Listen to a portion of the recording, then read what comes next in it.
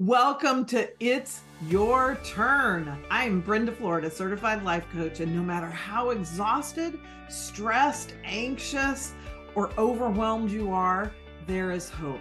You can start exactly where you are. There's nothing wrong with you.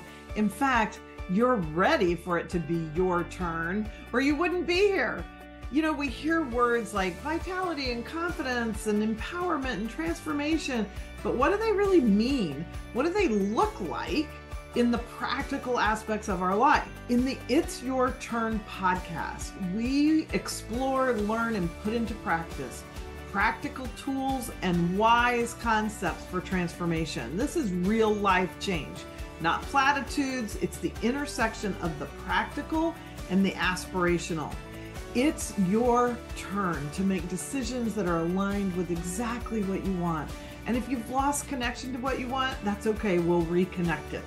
You'll learn how to shift out of self sabotaging patterns and tap in to the clarity, confidence, and vitality that you may feel like has been lost forever. It's your turn to step into the driver's seat of your life and embrace the power that is within you. So let's get to it. Well, this may be one of my favorite episodes of It's Your Turn. Our topic today is how to say no. I mean, one could start with, why is it so hard? But it is, especially for anybody who is sensitive, empathetic, has challenges with people pleasing habits, any of those things saying no can be really challenging. And I think I want to start our conversation today with sort of exploring that. Like, why is it so hard? And why is it also so important to learn how to do it? So, one of the reasons it's very hard is that our culture, especially for women, is based on the foundation of it is in our servanthood. Okay. And what I mean by that is an attitude of service. And of course, for many people, actual literal servanthood is their history. And for the for others of us, it's a little more um, of a feeling, it's a little more of an expectation that we're going to be giving, giving, giving than actually having to be someone's servant. But whatever it is, there's that cultural impression, there's the cultural habit of assuming, especially women, people of color, are going to play that role of being in service. And so we have like this whole, I mean, patriarchies eh, and capitalism, good God, are based on that, you know? And so it's, there's a lot of reprogramming we have to get over, you know, get through in or in order to free ourselves from the disempowerment of servanthood. Now, let me just make one little distinction here. I think there's a way of which being in service, doing good things for other people, like that's a beautiful thing. But I think you all know exactly what I'm talking about when we get to the dark side of that, where there's an assumption that, of course, you're going to do this. Of course, you should. Like, look at the invisible workload of women I'm sure most of you, all of you probably know what that is, but it's that that role that women end up taking on without asking for it, without being asked for it, of just like, oh, well, I know all the kids, you know, doctor's phone numbers. I do all the appointments. I buy the birthday gifts. I wrap the gifts for everybody whether it's you know your spouse's family or your family or whatever you know and there's just all these things the grocery list in your head or whatever it is. There's all these things that women particularly take on as in a very unspoken way of just that's what we're supposed to do. It's like we're supposed to do the laundry or we're supposed to do the cooking or whatever it is. And maybe those aren't the things in your family. It could be something very different. Maybe your spouse does all the cooking, but you end up having to take care of all these other things. And instead of them being a conscious choice of these are the ways I want to contribute to our household, these are the ways you want to, you know, where are the gaps, you know, blah, blah there's an assumption around it. And so we have to start undoing this capitalistic pa- patriarchy mindset of just assuming we have to. Okay. So that that's one way it gets ingrained in us.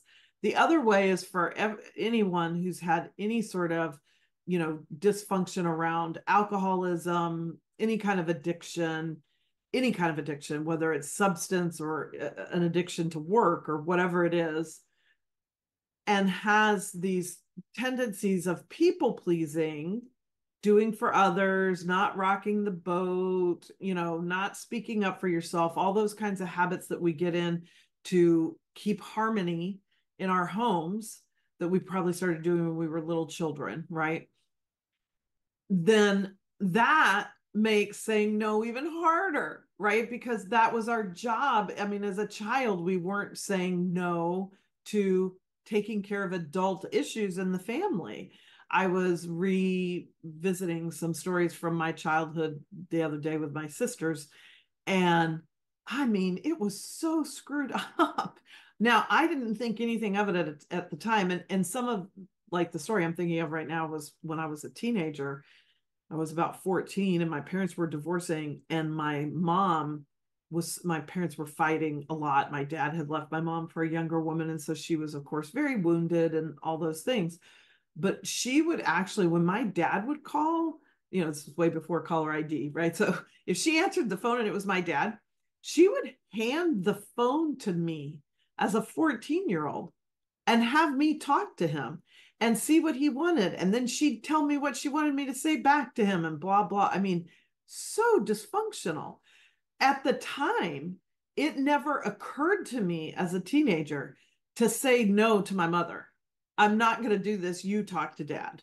Okay. Never would have occurred to me. By then, I was already deeply entrenched in my good girl, be a good girl, be a good Christian girl, be loving and wonderful to your mother. She's having a hard time all these messages that were already so deeply ingrained in me because like i didn't even touch on the religious thing there in servanthood.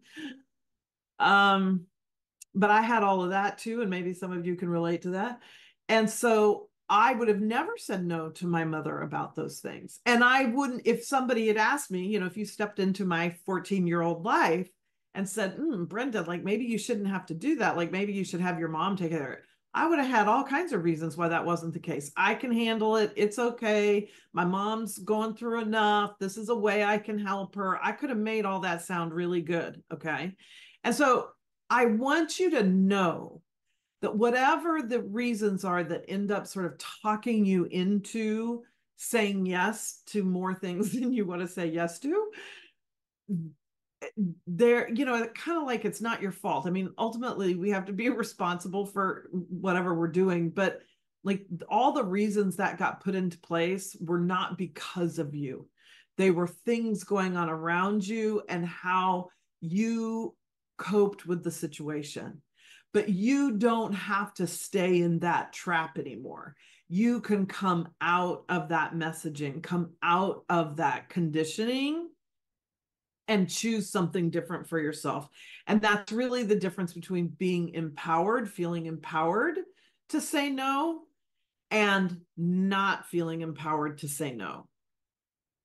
Because even if we put shiny, glossy reasons on it, I like helping people and I, you know, I want to help my mom, and those are shiny, glossy reasons. The truth is, underneath all that, I didn't feel like I could say no. I felt like I had to do that for my mom. So we won't get into a deep podcast on the dynamics of codependency here, but all of us have different things that are like that where we don't we don't or we didn't feel like we had a choice So we may not associate that with being disempowered, but every time you feel like you don't have a choice, that is disempowering. Okay. So why is saying no so, so, so important beyond escaping these um, patterns of dysfunction and finding an, our own inner sense of power in order to do it? It's that every time you say yes, you are saying no to something else. So I almost wish we could even just kind of start with every time somebody asks us to do something or an opportunity presents itself that we're deciding whether or not to say yes to, or no to, if we could just think about it that way. Wait a minute. If I say yes to this, what am I saying no to? because you are saying no to something, even if it's something fun, like, you know, stopping and having drinks on your way home from work or going out with the girls or whatever it is. When you say yes to that, you're saying no to something else. Now, sometimes we want to say no to that something else, right? Maybe something else is going home and cooking dinner and you don't want to do that. So cool, say yes to that one. But it's possible that even though the thing you're being invited to do is fun, that saying yes to that means saying no to time to yourself to maybe hit the yoga mat or read a book or soak in the hot tub or whatever it is that would just be calming to your own nervous system, right? Just daily life and what's going on in the world gets our nervous system wound up. And we need time each day to allow that energy to re- be released from our body whether it's something in movement you know it doesn't have to be aerobic exercise you know it can be 15 or 20 minutes i love somatic yoga uh sessions that are on youtube somatic is s-o-m-a no s-o-m-o matic m-a-t-i-c I think, but you you search it on YouTube, you'll find a million of them. And I love them because they're very slow, they're super easy. And most of them are only like 15 to 30 minutes. So this is not to work up a sweat. Somatic yoga is specifically designed to release the energy that gets caught up in our body from the stress of everyday life and from trauma if we want to go you know bigger deeper into it but we won't do that on today's episode um, but that's what it came out of was a gentleman peter levine who is i don't know a psychologist psychiatrist whatever he is um, and did a lot of research and study on trauma and release allowing ourselves to release the effects of trauma because you know we can't stop it it already happened but trauma takes a sort of permanent hold on our body if we don't go and do something about it. It can be, you can be doing something about it 50 years after it happened. Doesn't matter. In that regard, time doesn't matter. Um, but but we need to do it and every day we have stresses that build up in our body we're so used to it we don't even think about it but they're there. And so doing a super simple, you know, 15 or 30 minute yoga practice will do wonders for that release for your body to recover from the day. And so, you know, I'm not, of course, I love going out with my girlfriends or going out and having a drink after work or whatever. So sometimes, sure, that yes is great but maybe not every time. So if we could just sort of turn our thinking into wait a minute, when I say yes to this, or I'm volunteering to help at the animal shelter, or I'm volunteering to do this community thing or that church thing or something at my kid's school or whatever it is, a charity that my the my workplace supports. You know, every time we say yes, even though those are all awesome, awesome causes, awesome, awesome things to do and giving back all is a mood booster you know in and of itself but not in the absence of self-care and so when i say yes to that charity or that community thing even though it's a quote unquote good deed for them doesn't mean it's a good deed for me when I say yes to that and the time and energy and maybe money that that's going to take, what am I going to end up saying no to? And is that really what I want to do? Is that yes worth the no's? Now, of course, the opposite is true. When I say no to something, I'm saying yes to something else. I'm allowing something else to be done, to be experienced, to, you know, I don't care if it's taking a nap. So you look at it either way that works for you, but I think it's sometimes more interesting to say, wait a minute, what am I potentially making myself say no to when I say yes to this other thing? It's a way to take your power back. Every time we're in consciousness instead of the program, the program of always being the good girl, the program of always being the one with the servant heart, you know, the one who always says yes, the one who keeps harmony in the family and, you know, doesn't make waves and all those things. We are disempowering ourselves. As soon as we are in that habit, as soon as we are in that program, we are disempowered because the habit is taking over instead of a conscious choice. And power is always in the conscious choice. And no, it doesn't always work out. And sure, there are times that I decide to say yes to yoga and no to going out for drinks. And later, I really wish I had gone out for drinks. okay. But that's okay because I made an empowered choice. And it's okay to look back on it and, and kind of learn your own tools of discernment for, oh, actually, tonight, the social, like being with friends would have actually been better with me, for me, than being alone on my yoga mat or, you know, when I had kids, you know, home with kids bouncing off my yoga mats, whatever. Um, so that's okay. Being empowered doesn't mean we never make a mistake or wish we had done something different, whatever, however you want to think of that. Being empowered means I'm consciously choosing now based on what I know now, what I'm feeling now. I want to be out of my program and be into my inner guidance, like tune into my inner guidance and see if I can get some sense of whether this is something to say yes or no to. And then after I do that, I can evaluate that.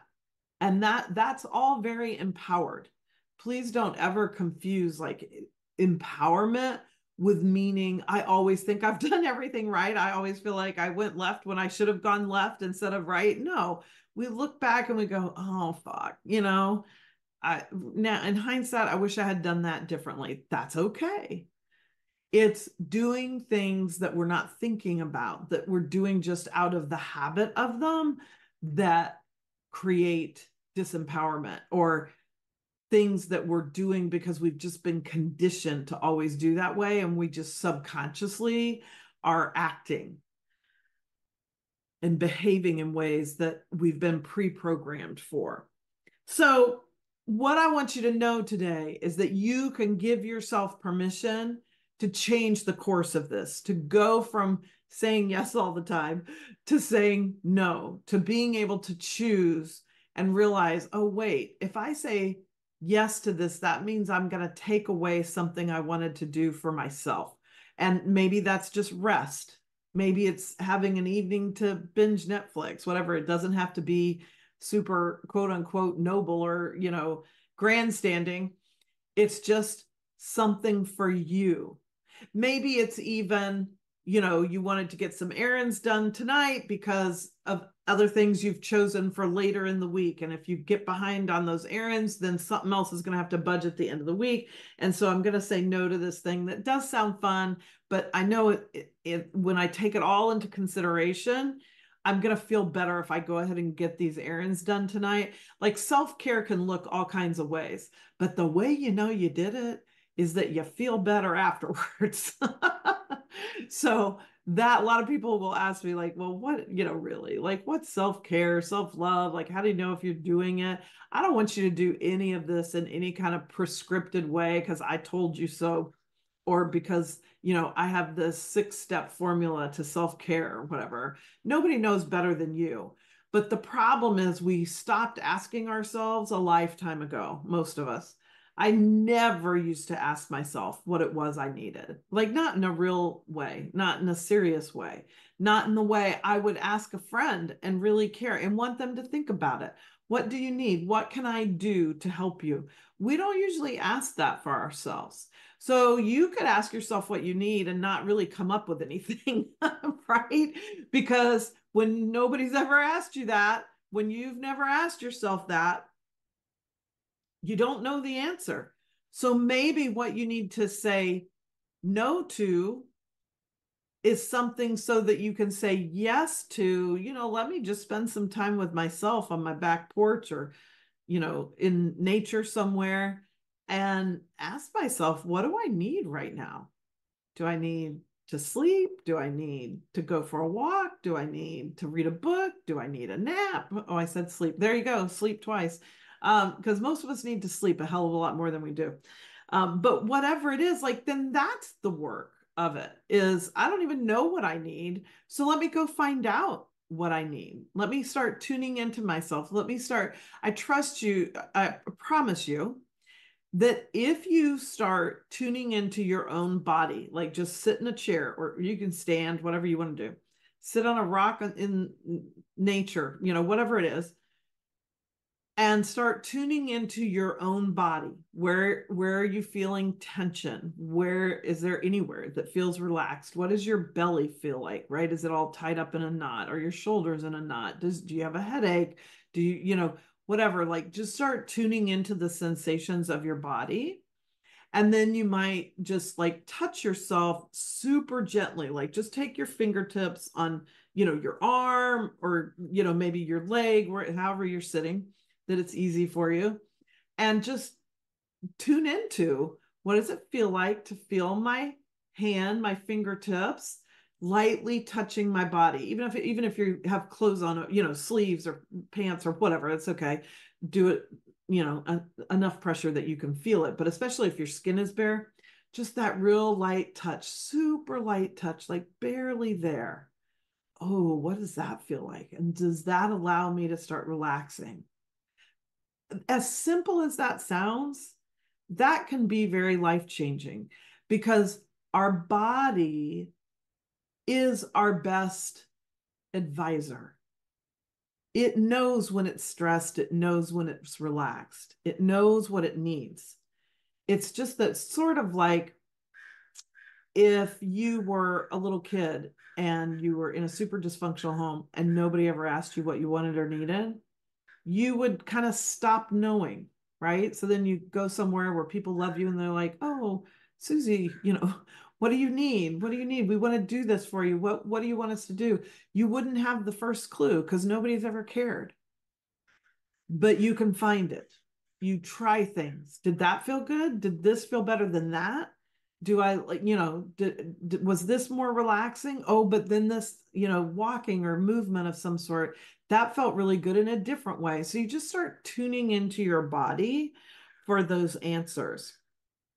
When we take care of ourselves, when we say yes to the things that really feel like things we want to say yes to, and no to the things that feel like things we want to say no to, that is creating the snowball effect of empowerment. Like empowerment's not exactly an on off switch. It's more like it's always available to us all the time. All the empowerment possible is available to us all the time, but we're not used to tapping into it. And so, like, step by step by step, we start using our power, and then that starts to build momentum and it's like oh yeah i like the way it feels and you know look they didn't even get upset when i said no or they got upset but they got over it or whatever you know and and it builds that momentum that allows you to access more and more of your power because it is always there all the time for you you don't have to you don't have to cultivate the power. You only have to cultivate using it, right? Like I have power running through my apartment, you have power running through your house. But if you never turn the lights on, I mean, who cares that it's all there? but it's all there. You could go from using no power in your home, unplug all the appliances, all the, you know, electronics, turn off all the lights. You're not using any power. it's all still there. And you could plug in one thing at a time, and that's fine. Or you could just go plug it all in at once, and all the power is there. You're not going to overload it, right? And so that's sort of how we are like all that power, all your truth, it's all there all the time. We just got trained out of using it. We just got trained to keep the lights off, so to speak, in my electric electricity in your home metaphor, um, to keep the lights off all the time. Like it was scary to turn the lights on. And so, like, you don't know what'll happen. What if I turn the light on? I kind of want to. I want to see what I've heard other people do it, but I don't really know what's going to happen. That's what empowerment is like. That's what saying no is like.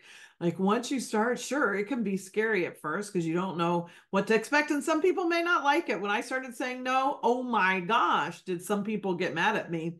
or get disappointed in me or whatever. And that was hard for me to take. That's true. But I got the benefits of starting to take care of myself. I got the benefits of what the yeses meant when I said no to something else. So I want to know today. You can drop it in the comments wherever you got this podcast, you know, Spotify, iTunes, wherever, Podbean, wherever it is. Or you can DM me on Instagram. If you follow me on Instagram, I'm Brenda Florida Coach. You can DM me there or drop a comment in the post about the uh, podcast, like whatever, whatever is easy for you. I just want to know what do you are you going to say no to? Like, what's a thing that's kind of right in front of you? And I, I don't care if it's tiny. You could say no to packing your kids' lunch and let them pack their own lunch. I don't, you know, I don't care. I want to know what you gonna say no to. Just pick out one thing that you're gonna say no to so that you can say yes to something for yourself. And bonus points if you know what you're going to do, what your own yes is. Like, so I'm, I'm going to say no to this thing and I'm going to go take a nap or I'm going to read a book or I'm going to go take a walk out in nature. Like, if you know what your yes is going to be, tell me that too. That'll be extra fun. Uh, but I really want you to challenge yourself. And if you think you can't say no to anything going on in your life, tell me that. If you want, you know, ho- hopefully that doesn't feel too uh, vulnerable. Um, and I promise you, we can find something that you can say no to because we all have, for the most part, way too many yeses in our lives that keep us from ourselves, that keep us from knowing who we are, from knowing we have all that power within us, from following our dreams or even feeling like we can, right? Because once we get into all those conditioned yeses that take us out of our power, then it is like sitting in a dark room thinking there's no electricity.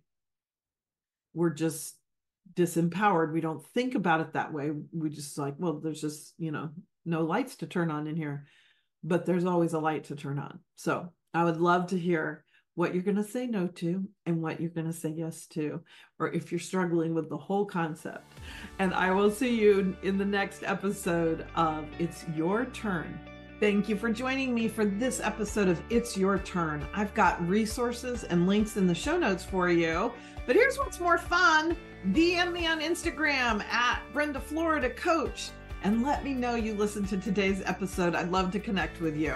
Then share this episode with somebody who needs to hear it because I know you know somebody who needs to hear it. And I'll see you in the next episode of It's Your Turn.